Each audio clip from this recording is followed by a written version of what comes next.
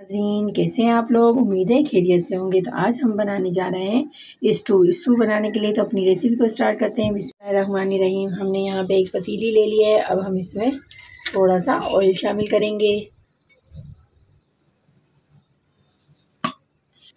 और हमने यहाँ पर पाँच बड़े साइज़ की प्याज ले ली थी, जो हमने बारीक कट कर ली है। और इस तरीके से हमें लच्छे वाली प्याज काटनी है। चॉप नहीं करनी है। इस तरीके से प्याज काटेंगे और हमने ऑयल गरम किया है। इस प्याज को इसमें शामिल कर देंगे।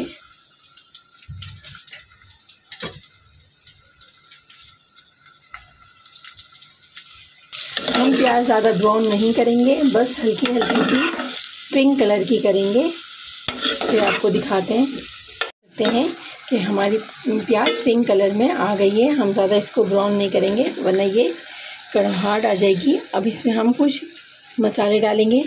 ज़ीरा, लौंग, काली मिर्च और बड़ी इलायची और दालचीनी।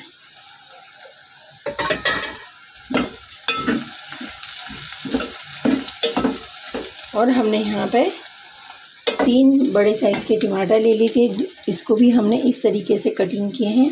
तो अब हम इसको भी इसमें शामिल कर देंगे।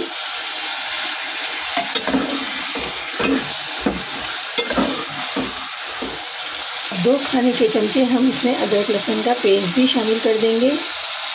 हमने एक पाव के करीब यहाँ पर गोश्त ले लिया था, जो हमने उबाल लिया था। तो अब हम इसे भी, गोश्त को भी इसी में शामिल कर देंगे।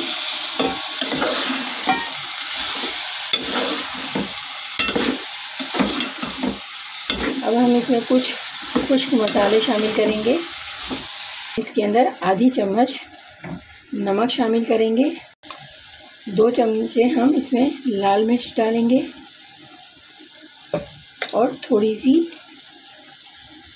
हल्दी हाफ़ और हाफ़ हम इसमें धनिया भी शामिल कर देंगे। अब हम सारी चीज़ों को मिक्स कर लेंगे। जैसा कि आप देख सकते हैं, इसमें हमने सारे मसाले डाल दिए हैं और इस तरीके से इसे एक तरफ़ कर दिया है। तो अब हम इसे आधे घंटे तक हल्की आँच पर पकाएँगे। बाद में आपसे मिलते हैं।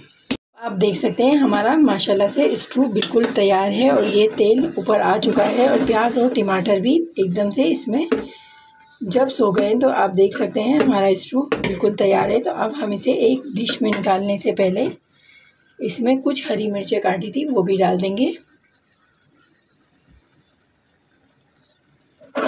आप देख सकते हैं।